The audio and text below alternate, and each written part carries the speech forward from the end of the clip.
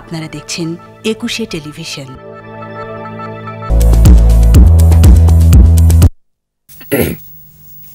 দর্শক, করোনা আপডেটে স্বাগত জানাচ্ছি আমি স্মৃতি মণ্ডল। আপনাদের জানাব করোনা পরিস্থিতি সর্বশেষ তথ্য। শুরুতেই জানাব বিশ্ব পরিস্থিতি।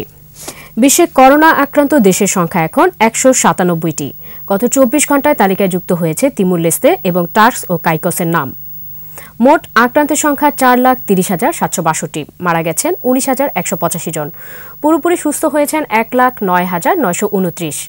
করোনার উৎপত্তিস্থল চীনে হলেও দেশটিতে এখন আর কোনো নতুন রোগী নেই। দেশটিতে আক্রান্তের সংখ্যা ছিল একাশি হাজার দুইশো উনিশ। মৃতের সংখ্যা তিন হাজার দুইশো একাশি। সুস্থ হয়েছেন তেহাত্তর হাজার ছয়শো পঞ্চাশ জন। এই মুহূর্তে সবচেয়ে খারাপ অবস্থা ইতালিতে। কোনোভাবেই পরিস্থিতি সামাল দিতে পারছে না দেশটি। গত চব্বিশ ঘন্টায় দেশটিতে মারা গেছে সাতশো তেতাল্লিশ জন। আক্রান্তের সংখ্যা উনসত্তর হাজার একশো ছিয়াত্তর। সব মিলিয়ে মারা গেছে ছয় হাজার আটশো বিশ জন এবং সুস্থ হয়েছেন আট হাজার তিনশো ছাব্বিশ জন। ইতালিতে জরুরি নির্দেশনা না মানায় আর্থিক জরিমানা করা হচ্ছে। ইতালির পর ঝুঁকিতে বেশি যুক্তরাষ্ট্র। বিশ্ব স্বাস্থ্য সংস্থার আশঙ্কা, যুক্তরাষ্ট্রে হতে যাচ্ছে করোনার এপিক সেন্টার। দেশটিতে আক্রান্তের সংখ্যা পঞ্চান্ন হাজার দুশো ছত্রিশ। মারা গেছেন আটশো দুই জন। সুস্থ হয়েছেন তিনশো চুয়ান্ন। এ অবস্থায় নিউ ইয়র্ক কারাগার থেকে তিনশো বন্দীকে মুক্তি দেওয়া হচ্ছে। স্পেনে আক্রান্তের সংখ্যা বিয়াল্লিশ হাজার আটান্ন। মৃতের সংখ্যা দুই হাজার নয়শো একানব্বই জন। সুস্থ হয়ে উঠেছেন তিন হাজার সাতশো চুরানব্বই। স্পেনে একদিনে আরও দুইশো চল্লিশ জনের মৃত্যু হয়েছে।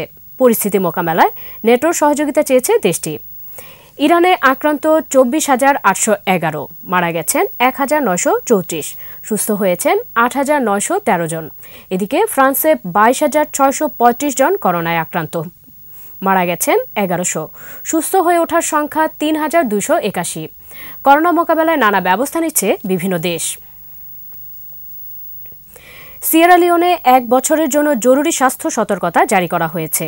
ভারতে চলছে একুশ দিনের লকডাউন। তামিলনাড়ুতে একজনের মৃত্যু হয়েছে। ভারতে মোট মৃতের সংখ্যা এগারো। মালয়েশিয়ায় চলাচলে বিধিনিষেধের মেয়াদ চোদ্দ এপ্রিল পর্যন্ত বৃদ্ধি করা হয়েছে। নিউজিল্যান্ডে ঘোষণা করা হয়েছে জরুরি অবস্থা।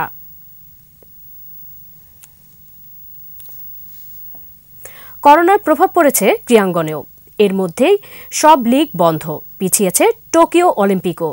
এদিকে করোনা মোকাবেলায় একত্রিশ লাখ টাকার তহবিল গঠন করে সাহায্যের হাত বাড়িয়ে দিয়েছেন মাশরাফি তামিমরা। কেন্দ্রীয় চুক্তিতে থাকা সতেরো ক্রিকেটার চলতি মাসের বেতনের পঞ্চাশ শতাংশ দেবেন এই তহবিলে। চুক্তির বাইরে যে দশ ক্রিকেটার গত তিন মাসে নিয়মিত আন্তর্জাতিক ক্রিকেট খেলেছেন, তারাও তাদের বেতনের পঞ্চাশ শতাংশ দেবেন। কিন্তু এ টাকাটা সরকারের কোন প্রতিষ্ঠানকে দেয়া হবে সেটি এখনও ঠিক করা হয়নি। এদিকে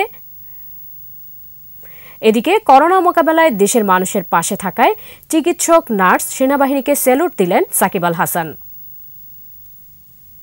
এদিকে করোনা ভাইরাসের প্রতিষেধক তৈরি ও চিকিৎসকদের নয় কোটি টাকা দান করেছেন লিওনেল মেসি। বার্সেলোনার একটি হাসপাতাল দশ লাখ ইউরো, বাংলাদেশি মুদ্রায় প্রায় নয় কোটি একুশ লাখ টাকা দান করেছেন মেসি।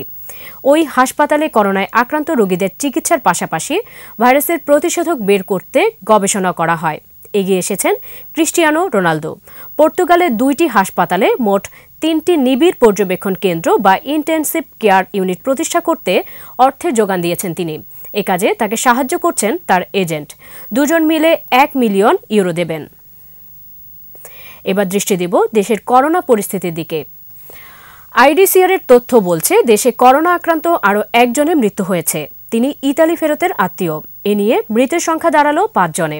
চব্বিশ ঘন্টায় নতুন করে কেউ করোনা আক্রান্ত হয়নি। মোট আক্রান্তের সংখ্যা উনচল্লিশ। সুস্থ হয়েছেন সাতজন। আইসোলেশনে আছেন সাতচল্লিশ জন এবং প্রাতিষ্ঠানিক কোয়ারেন্টাইনে সাতচল্লিশ জন।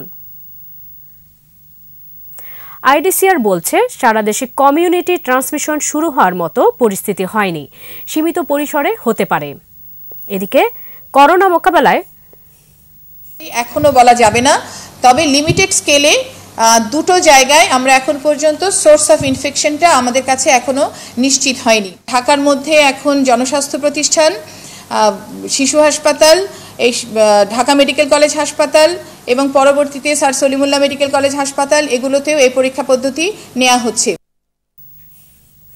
এদিকে করোনা মোকাবেলায় রাজধানীর আটটি জায়গায় জীবাণুনাশক ছিটাচ্ছে ঢাকা মেট্রোপলিটন পুলিশ। এছাড়া ফায়ার সার্ভিস ও চট্টগ্রাম সিটি কর্পোরেশনও জীবাণুনাশক ছিটাচ্ছে। দেশের উপকূলীয় ছয় জেলার উনিশটি উপজেলায় নৌবাহিনী মোতায়েন করা হয়েছে। সামাজিক দূরত্ব নিশ্চিতে কাজ করছে সেনাবাহিনী। করোনার কারণে এবার অমরা হবে না। তবে হজের তিন মাস সময় থাকায় সে বিষয়ে সিদ্ধান্ত পরে নেওয়া হবে জানিয়েছেন ধর্ম প্রতিমন্ত্রী শেখ মোহাম্মদ আবদুল্লাহ। কেউ আর্থিকভাবে ক্ষতিগ্রস্ত হবে না বলেও নিশ্চিত করেছেন ধর্ম প্রতিমন্ত্রী। এই ছিল আমার হাতে থাকা সর্বশেষ আপডেট। সবাই ভালো থাকবেন, সুস্থ থাকবেন, নিরাপদে থাকবেন।